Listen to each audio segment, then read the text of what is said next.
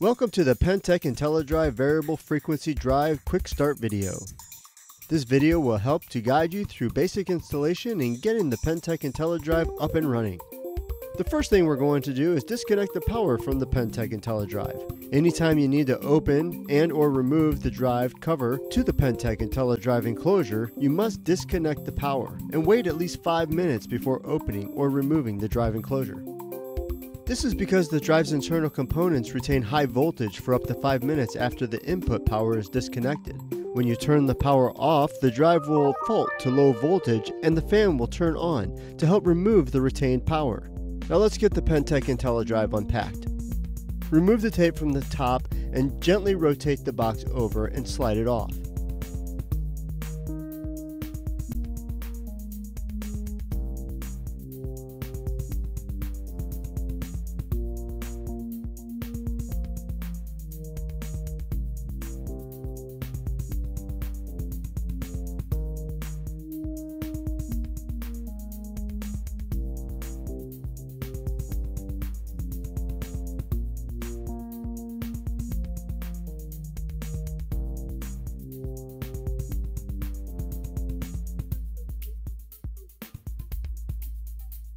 Inside the box we'll find the Pentek IntelliDrive, pressure transducer, and transducer cable.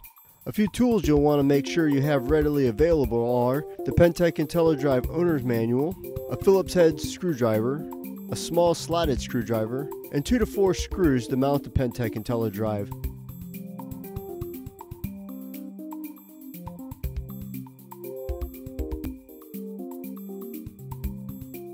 There are a few things to keep in mind when selecting a location. First, the Pentek IntelliDrive must be installed vertically. Next, make sure to leave 3 inches of clearance around the drive to ensure proper cooling. And when mounting to a wall, be sure that the top and bottom screws are entering a stud or post. Now it's time to start wiring.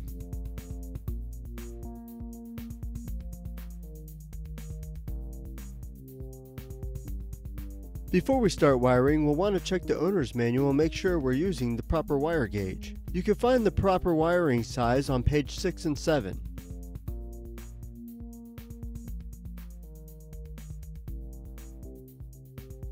Also, pay close attention to how the wires are being run. You want to make sure that you don't cross your wires with each other.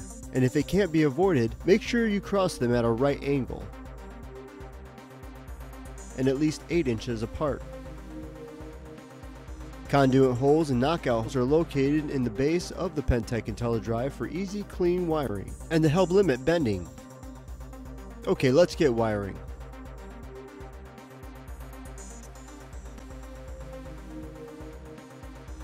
Unplug the motor terminal connector from the box by firmly pulling straight down. For three-phase and single-phase three-wire submersible motors, insert the red wire in the R slot, the yellow wire in the Y slot, and the black wire in the B slot. And tighten the screws with the slotted screwdriver.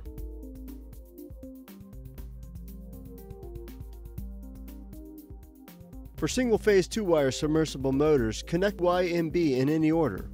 And for above ground motors, connect L1 to R, L2 to Y, and L3 to B. And you'll need to verify rotation for this installation.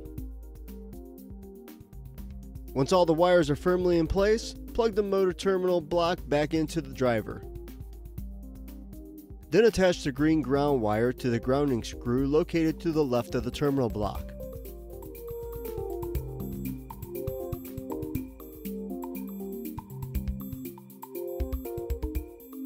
Next, we'll connect the transducer cable.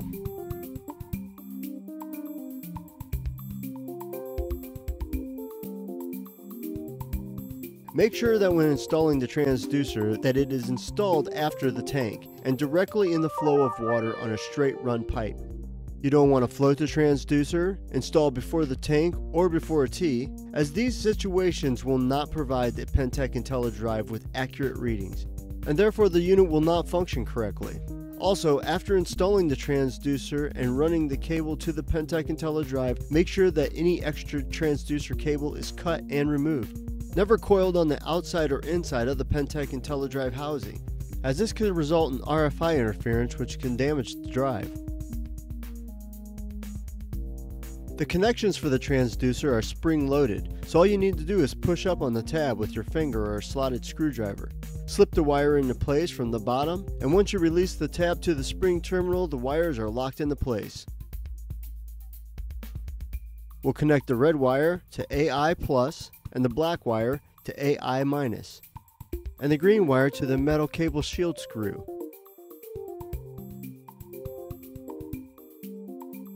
Now it's time to connect the input power connection.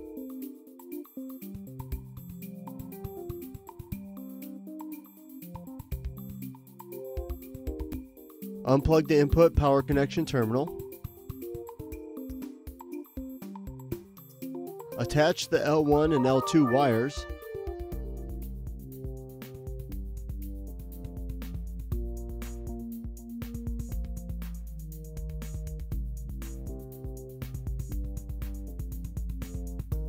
and then reconnect the input power connection terminal. Attach the green ground cable to the input ground screw located just to the right of the terminal.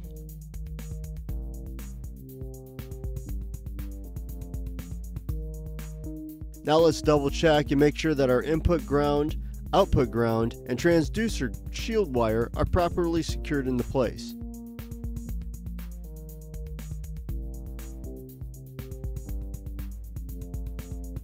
We'll start by restoring power to the Pentek IntelliDrive. Once the Pentek IntelliDrive is powered up, the LCD display should read Setup Guide. If it doesn't,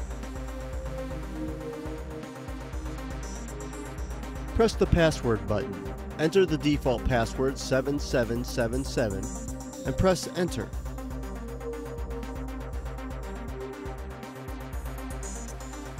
Press the main menu button Press the up or down arrow until reset appears and press enter to edit.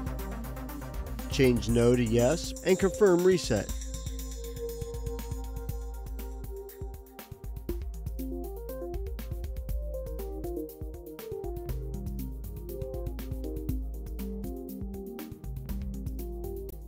Enter the motor phase, either 1 or 3, and then press enter. For single phase motors, you'll select the connection type, either 2 or 3 wire.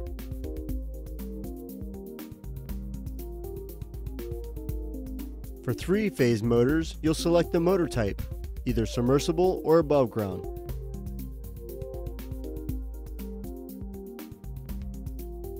From here, you'll enter the service factor amps. This information can be found in the owner's manual or on a label on the motor.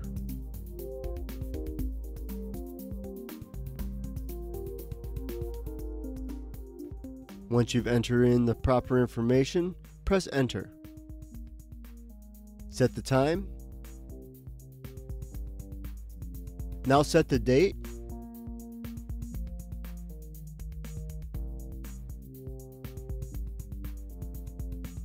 And the setup is complete.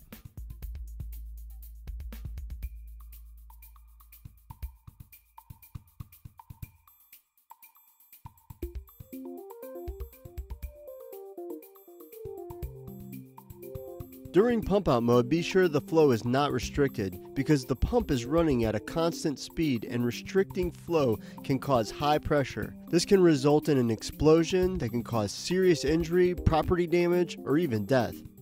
Direct the pump's discharge to the appropriate location not connected to the system and press the pump out button. The Pentek IntelliDrive will ask you, is the valve open? To continue, change the word no in the black box to yes and press enter. The pump will run at 45 Hz by default, but you can adjust this by pressing the enter button, then change the frequency by pushing the up or down arrows and then press enter again. Keep in mind that the system is set at 45 Hz to prevent upthrusting, which can destroy the pump end. Run your drive in this mode until the discharge runs clear. Do not leave the pump unattended. It cannot go to sleep or sense dry run. There's no automatic stop, so you'll need to press the stop button, or the pump will continue to run.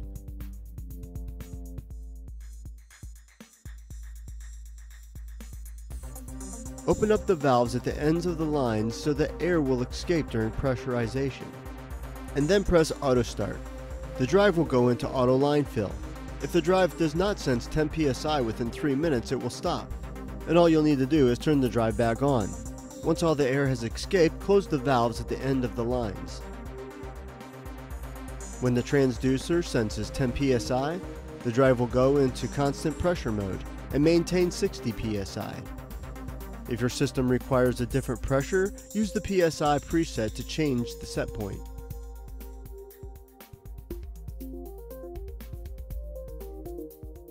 Remember, anytime you need to open or remove the drive cover to the Pentek IntelliDrive enclosure, you must turn the power off to the unit and wait at least 5 minutes before opening or removing the drive enclosure. This is because the drive's internal components retain high voltage for up to 5 minutes after the input power is disconnected.